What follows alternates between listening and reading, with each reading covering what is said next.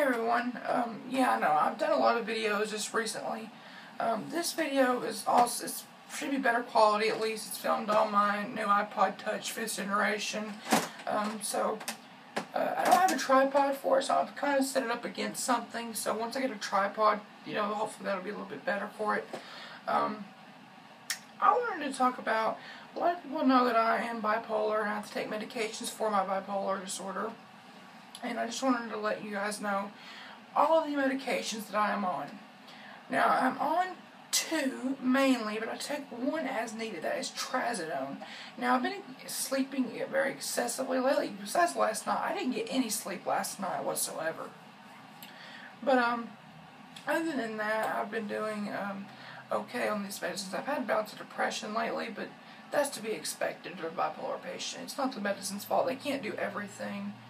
Um, I am on venlafaxine, which is better known as Effexor XR, and also I take Abilify, brand name Abilify. I'm on the maximum dose of Abilify, and that's the one I really wanted to talk about. Abilify is an atypical antipsychotic. It does not act like the typical, well, the, well, I shouldn't use that word. It does not act like the typical or the other atypical antipsychotics. It is not just a it does not, it's not a dopamine antagonist, it's a partial agonist. So it's kind of activating with dopamine. And also, um, it is all, it, it, acts on various serotonin receptor sites, which is believed to be where it helps with depression. And it's also a good antipsychotic for bipolar, for mania, and mixed phases. So it's kind of one of those drugs that helps all of it. It's been the best medication for me personally. Um, but that's not saying much considering everything else has been a major flop for me.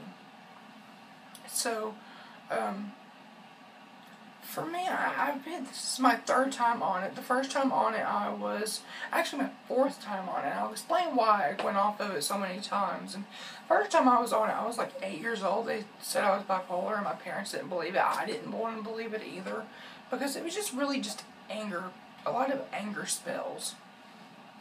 And um, that was one thing. I thought, okay, maybe I can just grow out. And I really did grow out of the intense anger spells. I really did grow out of that. So, the uh, major thing that we are trying to um, uh, accomplish for me right now is mood stabilization and help with mania and depression. So basically that's what mood stabilization is. And I want to be more a productive member of society, which right now am I, I am not really a productive member of society, not as much as I want to be. But slowly but surely I am getting better. And um, so the reason I've been on Abilify so many times, off and on, said, the first time I was eight, and it caused very excessive weight gain on me. Now, you'll see now I'm, I am overweight. I'm not, sorry, you know you hear my squeaky bed, but um, I'm, you'll see, I'm overweight. I'm obese, okay? I'm not going to beat around the bush. I'm obese. And, um, so, oh, sorry, I had a video playing in the background, sorry. Um, and, you know, the reason, um, I, I, I went off the second time was because uh, I just, my psychiatrist that I had at the time would not go above 5 milligrams. And that was a problem, so I just said, if you're not, if you can't go above what dose is going to work for me, then let's just stop it. The third time I was on it, I was put in the hospital, and um, even though I told him I felt like that was the only medication helping me, he took me off of it, put me on Saphris, and Saphris was a nightmare for me. Let's just say it caused a lot of a lot of the a lot of these uh, atypical antipsychotics, and especially the typical antipsychotics, they can cause um, a side effect, a pretty rare side effect called tardive dyskinesia. Tardive dyskinesia is can be permanent, and it's like movements like like kind of like that, and your mouth moves. And now it's not as severe as that, but it also can be worse than that.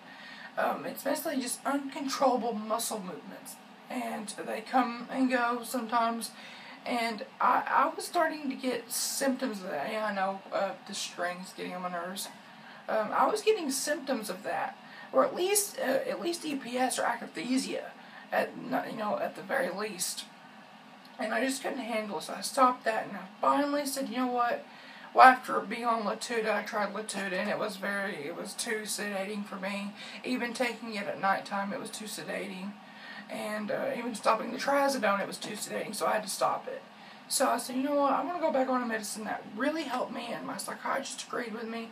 I'm on 30 milligrams now, and eventually, like all medicines, they do what's called the poop out. That will stop working over time because you have tolerance to them.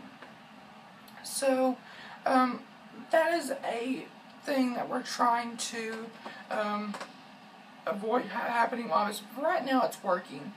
So, now, for a lot of people are going to tell me, do not take medications. You don't need it. Mental illness is not real. You know, this is what I say to you. Um, I know some people, they mean well, but they really are being assholes about it, and they don't realize it. And it really gets on my nerves. Um, you know, yes, have I tried? I've tried eating healthy, exercise, which that's stuff you're supposed to do anyway. Um, you know, eating healthy, you're not having losing weight you know, eating healthier, exercising, all that good stuff, and trying natural supplements. I've tried 5-HTP, lithium orotate, uh, I've tried valerian root, St. John's wort, you name it, I've tried it. And medications, uh, along with therapy, I tried therapy alone, that did not work. So along with therapy and the medication, that's the best treatment for me now. Have I found the correct cocktail of medications for me? Absolutely not. It does need a major tweaking, and eventually I may need to go off the Abilify. I've tried, you know, it would be a, you know, a freaking novel for me to go around all the medications I have tried that I've failed um, for depression and bipolar and things like that. So, that's it for this video. I just wanted to say, you know, if you if you do need medication, don't be ashamed of it. Don't let anyone tell you that you don't need it or what. Now, some people probably don't need it. Some of the medications I do feel are overprescribed. But you got to find a psychiatrist that you can trust. And that's that is key. A psychiatrist you can trust. Okay.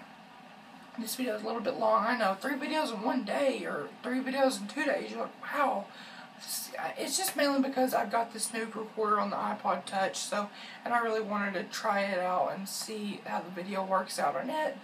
And, uh, so yeah, thank you for watching. I love you and bye.